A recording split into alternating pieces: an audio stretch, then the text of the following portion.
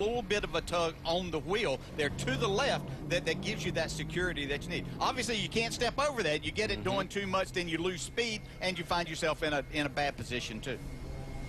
Flip of the wheel, and drivers are out of their race cars. We'll I mean, it's not like Austin Cindric did something major wrong or Matt Tifft did something major wrong. It's these little small things that happen and cause wrecks at Daytona when it's